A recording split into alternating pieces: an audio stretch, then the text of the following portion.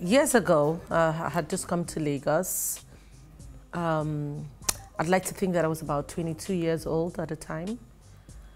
Uh, I was I had, I had, had my break in the industry, but it wasn't. I was still an up and coming actress. So I think it was a year where my big film came out.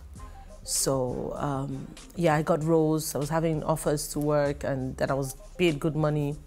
And then I went to see some group of friends that I had on the island, and they were like the big girls.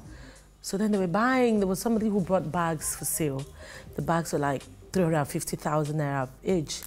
And I mean, I could, not I couldn't have afforded it at that time, but it, does, it didn't make any sense to me to buy a handbag for 350k when I was doing very okay with my 25,000 naira bags and 15,000 naira bags.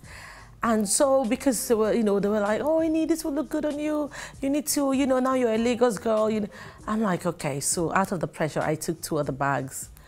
So when I got home, I called the girl who sold the bag. I said, look, would it be possible to return these bags? Because I don't think I really need them. And she was like, oh, sure, why not? And that's how I returned to the two bags.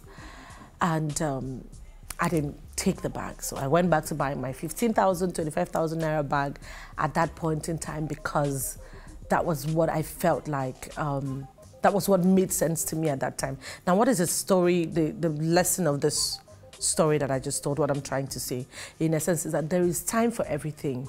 Take your life one step at a time. Do what you can afford. Do not be pressured because that lifestyle you're looking at today, if you build yourself today, you might just be able to afford even much more than that tomorrow. But the thing is this, you have to start from somewhere. And then not just like you start, you start making money today, you want to have the most elaborate or the most flamboyant things. No, you have to save. It's so important to save. And if you don't save, you can't have a financial stable life.